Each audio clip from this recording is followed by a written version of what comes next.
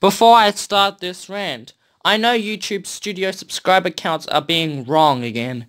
Yes, this issue has been going since July 3rd, 2020, and it is July 5, 2020, since I was making the video today. Now, as you may know, it says on YouTube, it says I'm on 3.69k subscribers, but on the YouTube studio, it says I'm on 3,602 subscribers. YouTube, please fix this problem. Anyways, before I start this rant, to anyone who likes this game, I respect your opinion. Enjoy. Sonic 06? No. More like Sonic 666. Oh my god, this game sucks. This has to be one of the worst Sonic games out there in the entire history. Behind Sonic Boom, Rise of Lyric. Even though that game's bad.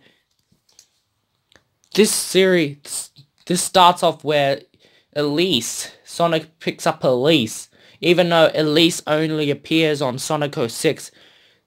The only things I like on Sonic 06 is Silver, which he first appeared in. Some characters and the music. And as you may now heard, only 68% of people like this game. And it has 3.1 stars. God, I hope this gets remastered. And I hope the glitches go away.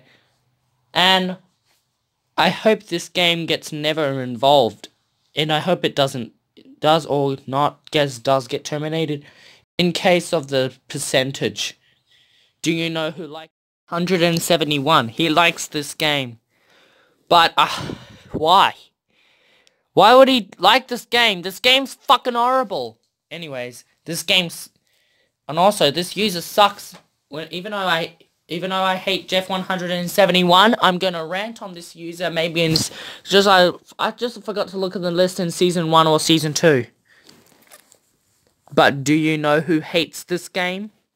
No, 336 Wario 909, the Powerpuff Girls guy. He hated this game a lot. And screw Sonic Boom Rise of Lyric. Next rant, Peppa Pig.